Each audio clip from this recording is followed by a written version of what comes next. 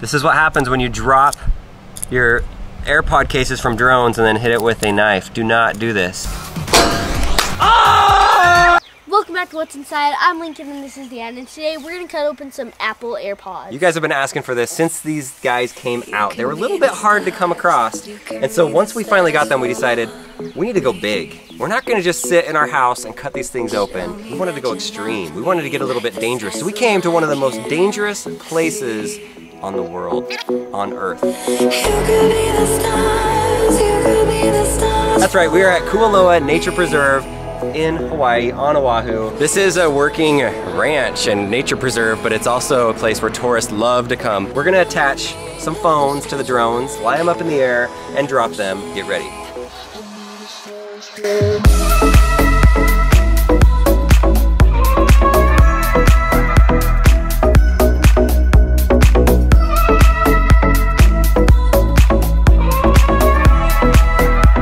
Check out these scratch marks. They're This is from the scary. movie.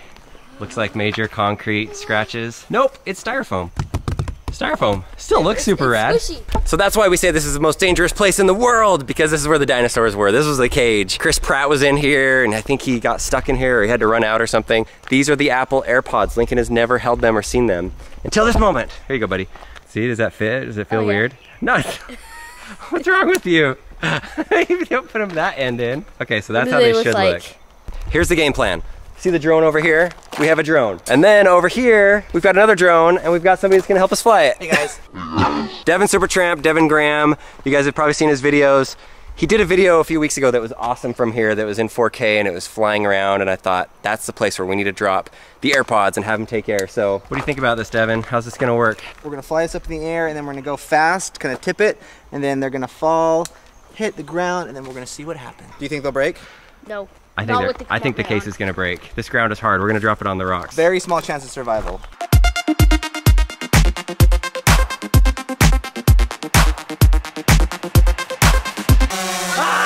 Ah, drop test!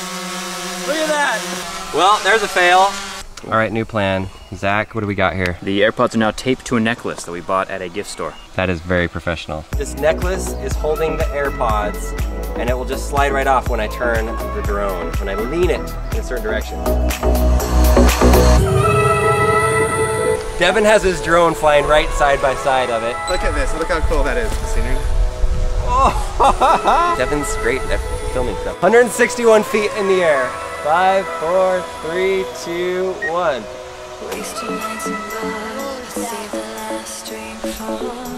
Oh! Okay. It's still a shut. It's shut. It's still shut. Are they in it? Open it up. Both in it. They're both in it, just fine. Completely fine. We need to go higher.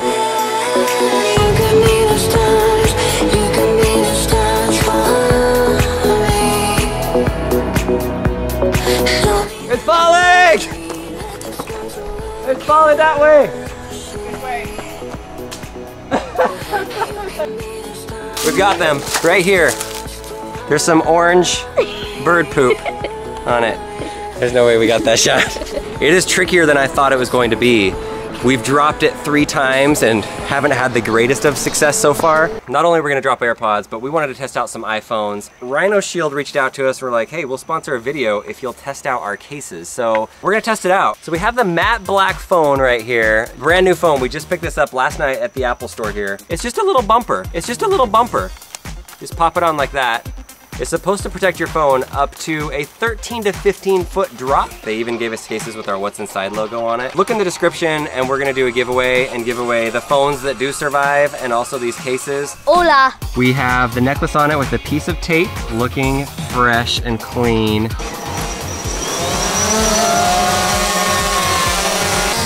Okay, this is 15 feet in the air right now. This is what they say, your phone, if you drop it on concrete, it's gonna survive.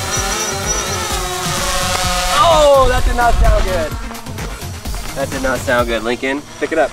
Check it out, see if it works. It's my phone. It doesn't have any scratches and completely awesome. Really? Wipe Yeah. It, let's wipe it off. It's fine. All right, phone. The bumper guard right there looks like we hit a rock and it has a little scratch, but totally fine. Phone still works. Actually. Good condition. That's impressive. Now let's take it up even higher.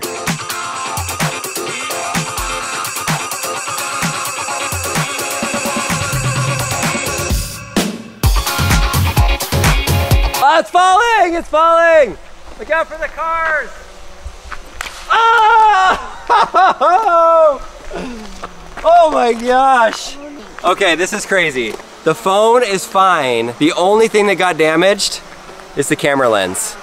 A rock must have hit it perfectly. We looked it up on the drone. That drop was 180 feet. We lost the camera. But let's see what happens when we take off the bumper guard and give it a drop. The proof is in the pudding. This is a phone with no case. 185 feet. It's coming. Oh! I hit the bar! Oh no! Oh, the whole bottom cracked open. You've seen Zack's bend test that he does on iPhones. This thing is pretty jacked up. Looks like the screen has popped out a little bit. Ooh, even the back case. That's pure bent metal right there. That's, How is it that the screen survived and the metal is torn on the back? I have no idea. The bumper case, it did what it promised, but I wouldn't take it up to 100 and 200 feet like we did. You'll have some dents and you'll have some marks on it. Jurassic World and Jurassic Park was awesome at Kualoa Park. I was impressed that they survived the drop test. We're gonna really cut open these AirPods and just see what's inside of them once and for all. We have a few tools. This one is my favorite. Check it out. Look at that thing. I'm just going to give it a squeeze and see if it can pop open. You can see the glue coming off right there. This thing does not have screws that are holding it in. It is just the glue. Oh yeah. How's that for a clean opening? We are in on the headphone part, Lincoln. It looks really small. So you saw earlier who was helping us with the drone. We got Zack. What are we looking at? So the AirPods are waterproof and sweatproof. Part of that is this part right here is rubber. So in a lot of speakers, especially like older speakers, they're like paper. And paper and water don't go well together, obviously. So if you're sweating inside of your ear and this is paper, the speaker's just gonna disintegrate. And then right here, all a speaker is, is copper and a magnet. So the magnet makes the copper shake back and forth and that kind of like transmits the sound. So if you just extend those pliers, just hold them out, it's gonna stick all by itself right here. So we need to get down into this battery case. We have this knife. We've already got the top part off. I wonder if we can just hit this guy. Oh boy. That's a very clean cut right there. Doesn't get much cleaner. Nice. Is that the whole, ow! I got the battery. It's hot. Pretty much all you have in this part is the battery and the antenna. I would imagine that Apple would have wanted it to be a little bit smaller so you wouldn't look so dorky when you're wearing them, but you have to think they need to have a battery long enough so that people don't complain and say, this thing only lasts for 30 minutes. I mean, when I'm at the gym, I work out for hours. And so Yeah, yeah, totally. when you put the AirPods in, it does pull it down and it locks into place. So there's definitely maggots in maggots. There's maggots in there. Maggots. Maggots I in your actually, AirPods. Yes, I've had stories with maggots. At school, that my actual teacher taught me about maggots. I, no, I'm serious. It's a nice story. Lincoln. I'm actually serious. Maggots. That's Hashtag what- that's- maggots. that's- Leave it in the no, comments. like- I believe you. Yeah. I'm not doubting his story at all. I think your maggots magnet story is true true story. Yes. Back to the AirPods. so when you take these AirPods and you put them in there, there is, there are magnets in the bottom, Maggots. but there shouldn't be anything else inside of this. It should just be a battery and magnets. Because look, there's magnets in the top part of the case. That's the latch that gets it to open and shut right there. When we dropped it from really high up, that's a little cushioning in it so that it, it keeps the AirPod safe. No wonder it survived so well. Apple, darn you for making this too well built. I'm gonna have to use some brute force. And so I got this giant piece of coral from the ocean. Now we're gonna beat this thing up.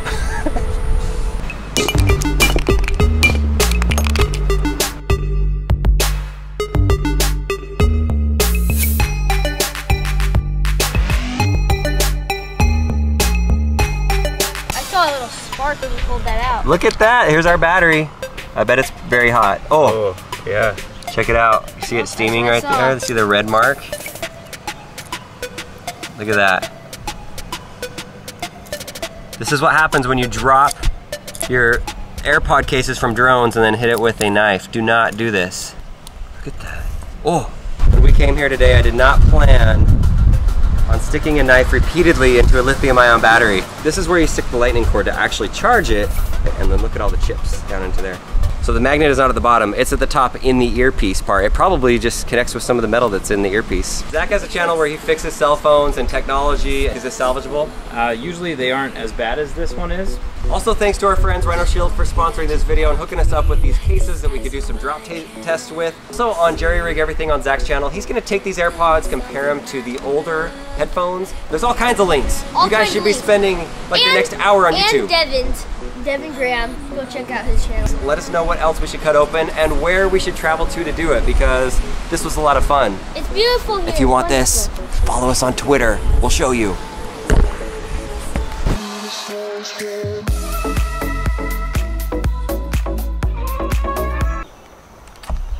I'm Dan, and you're watching what's inside. Pretty accurate there. hey, everybody.